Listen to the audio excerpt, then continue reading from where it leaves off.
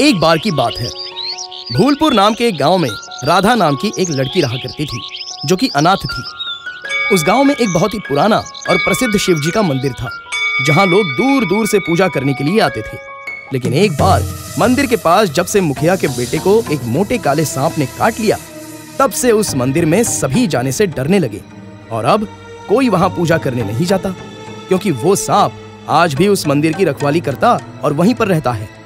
लेकिन राधा हर सोमवार भगवान शिव के पास जाती और घंटों उनकी पूजा करती और वहाँ एक कटोरी में दूध रखकर चुपचाप वहाँ से चली जाती और अगले दिन कटोरी से दूध गायब हो जाता।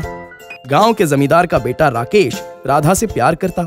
उसने वादा किया था कि वो जल्द ही राधा से शादी कर लेगा, लेकिन उसने राधा को धोखा देकर हमेशा के लिए शहर चला गया। अब राधा पेट से थी और बहुत बीमार थी। वो ज़्यादा देर तक जीने वाली नहीं थी। इसलिए अपने बच्चे को लेकर वो शिव मंदिर गई और भगवान से रो रो कर कहने लगी हे भगवान मैंने हमेशा तेरी पूजा की तुझ पर विश्वास रखा पर अब मेरे पास ज़्यादा समय नहीं है। मैं अपने बच्चे को तेरे शरण में छोड़ रही हूँ। और राधा की मौत हो गई। तभी बच्चे की किलकारी सुनते ही सालों से भगवान शिव से लिपटी हुई इच्छाधारी नागिन एक औरत का रूप धारण करती है और बच्चे के पास आती है और उसे अपनी गोद में उठाती है। नागिन कहती है राधा ने हमेशा भगवान शिव की सेवा की और मुझ भूखे को दूध पिलाया। अब से इस बच्चे को मैं पालूँगी, इसकी माँ बनकर। इसे कभी इस बात का पता नहीं चलने दूँगी कि मैं एक इच्छाधारी नागिन हूँ। अब वो नागिन उसी गाँव में कोकिला के नाम से एक घर में रहने लगी और राधा के बच्चे को पालने के लिए गाँव में छोटे मोटे काम करने लगी। गुजरते वक्त के साथ राधा का बेटा राजू दस साल का हो गया। राजू हर सोमवार अपनी माँ के साथ उसी शिव मंदिर में पूजा करने के लिए जाने लगा, जहाँ उसकी माँ जाया करती थी। अब इच्छाधारी नागिन बनी कोकिला दिन भर खेतों में काम करती और फिर राजू का ख्याल रखती। राजू भी स्कूल जाने लगा था। कोकिला पैसे कमाने के लिए दिन भर मेहनत करने लगी और राजू की जरूरतों को पूरा करती। कोकिला राजू के प्यार से बहुत खुश थी। राजू भी कोकिला के साथ बहुत खुश था। लेकिन कोकिला सालों से अपने पति नागराज का इंतज़ार कर रही थी जो कोकिला से वादा करके गया था कि एक दिन वो ज़रूर लौट कर वापस आएगा। कई साल पहले नागराज को शिव मंदिर से एक बाबा अपने मंत्र की शक्तियों से कैद कर ले गए थे। पर अब कोकिला को ये बात पता भी नहीं थी कि नागराज ज़िंदा है या मर गया। एक दिन राजू स्कूल से लौटकर अपनी माँ से बोला, माँ, आज मैंने स्कूल में देखा कि एक बड़े मोटे काले बाबा सांप को दिखाने ले आए थे।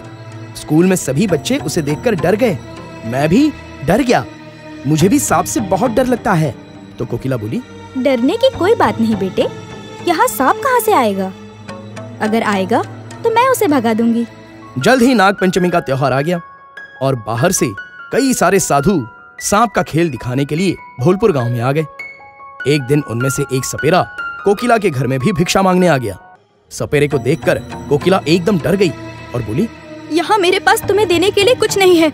ये बीन बजाना बंद करो। और जाओ यहाँ से। सपेरे ने कोकिला को देखा तो उसे कोकिला पर शक हुआ कि वो कोई आम मानव नहीं है। सपेरा वहाँ से चला गया, लेकिन सपेरे के पिटारे से एक नाग वहीं कोकिला के घर के अंदर घुस गया। वो सांप कोई और नहीं, बल्कि कोकिला का नागराज था। सांप के सर पर निशानी देख कोकिला समझ गई कि वो नागराज ही है, जिसकी मणि निकाली जा चुकी है। उस दिन मजबूरन कोकिला भी अपनी नागिन के अवतार में आ गई। नागराज और कोकिला दोनों एक दूसरे से लिपट गए और रोने लगे। तभी वहाँ पर राजू आ गया। दो दो सांप देखकर राजू तो मचलने लगा और तभी वहाँ पर गाँव वाले लाठी लेकर आ गए और राजू की जान बचाने के लिए उन्होंने कोकिला और नागराज को लाठी से मार मार कर जख्मी कर दिया। बेचारी कोकिला अपने बेटे को दिए वचन के कारण वापस मानव रूप में नहीं आ सकी और उसे अपनी जान गंवानी पड़ी। तभी वो सपेरा वहाँ लौट कर आया और दोनों सांपों को मरा देख उसने सबको यह सच्चाई बताई कि वो दोनों इच्छाधारी नाग नागिन थे।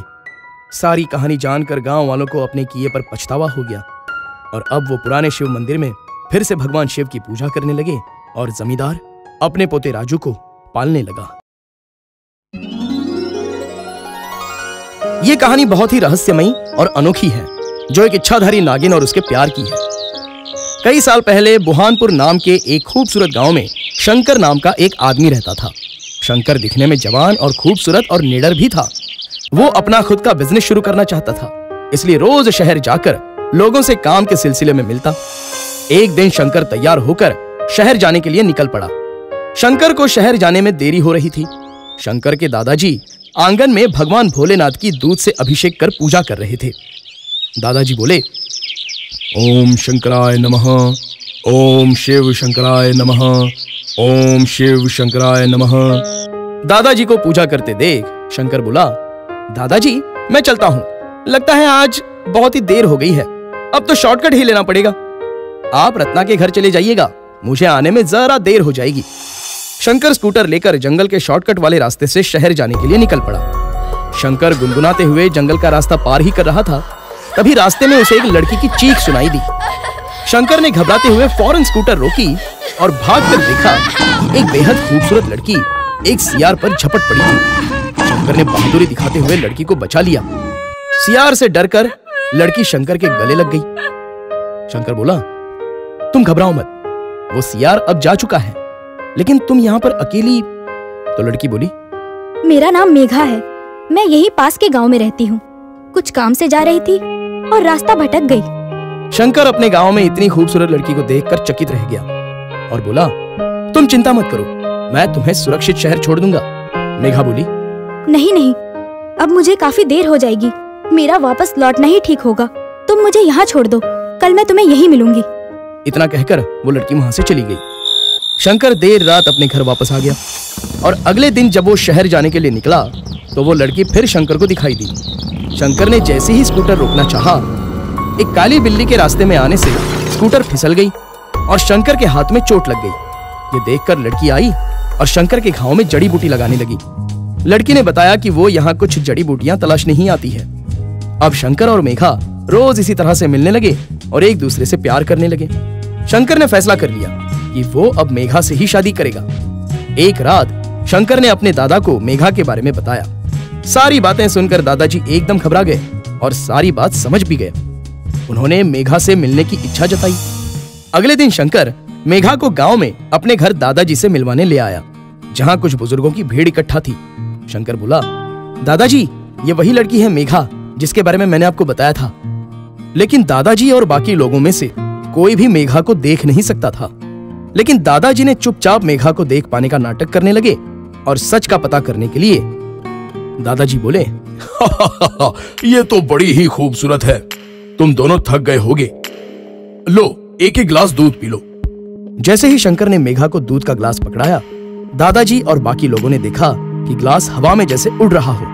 दादाजी सब कुछ समझ गए और बोले, मैं जल्द ही तुम दोनों की शादी का मुहूर्त निकलवाता हूँ। शंकर बोला, लेकिन दादाजी रत्ना दादाजी बोले, शंकर, तुम रत्ना की फ़िक्र छोड़ो। मेघा से बहुत गुणी और खूबसूरत रत्ना थोड़ी ही है यह सुनकर मेघा बहुत खुश हुई और चली गई। मेघा की सच्चाई सिर्फ़ दादाजी और गाँव के मुखिया और पंडित भैरव को पता थी। तीनों ने शंकर को बचाने का एक उपाय निकाला। दादाजी ने कहा, भैरव, ये बात सिर्फ़ हम दोनों को पता है कि ये वही इच्छाधारी नागिन माया है, जो 20 साल से जवान लड़कों को अपना शिकार बना रही है और इस बार का शिकार मेरा पोता है। उसे मिले श्राप की वजह से वो अदृश्य है। वो हम दोनों से अपनी नागमणि लेने आई है।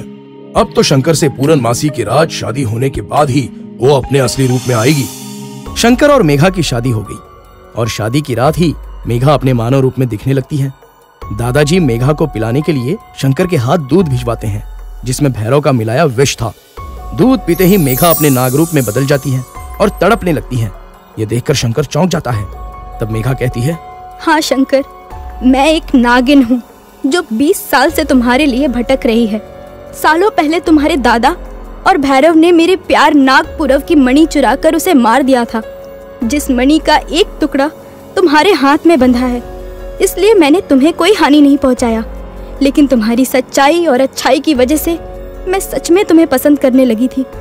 और मैं जानती थी कि आज पूरनमासी की रात तुम्हारे दादाजी के हाथों मेरी मौत तय है। लेकिन तुम्हारी पत्नी बनकर मैं इस संसार से जाना चाहती थी। यही मेरी इच्छा थी, जो अब पूरी हुई। अब अपनी मणि मैं तुम्हें सौंपती हूँ, जो मुसीबत में इस गाँव की रक्षा करेगी। मेरी वजह से इस गाँव के पंद्रह जवान लड़कों की जान गई। मुझे माफ़ करना। मेघा की बातें सुनकर दादाजी और भैरव को अपने किए भूल पर पछतावा हुआ और शिव मंदिर में वो मणि रखकर मेघा को गाँव की देवी की तरह वो लोग पूजने लगे।